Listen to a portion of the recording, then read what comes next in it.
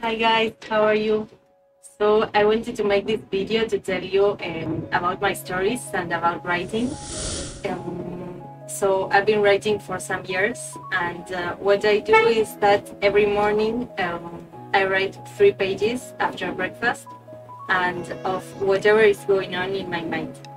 And after that, I start writing stories like about my travels and uh, love and uh, whatever is going on in my life.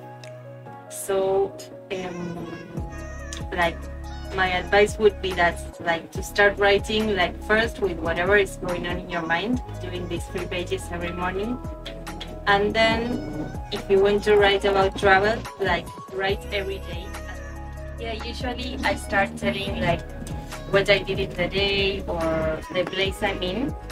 But uh, whenever I start writing, like, uh, I just let like my heart and like start telling me like the words and all that.